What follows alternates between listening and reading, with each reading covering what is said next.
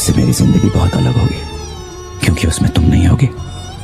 अब मैं जब चाहूँ तो तुम्हें देख नहीं सकता, मिल नहीं सकता, बात नहीं कर सकता, छू भी नहीं सकता।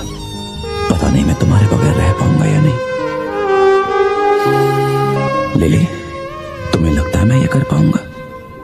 मैं तुम्हें भुला सकता हूँ क्या?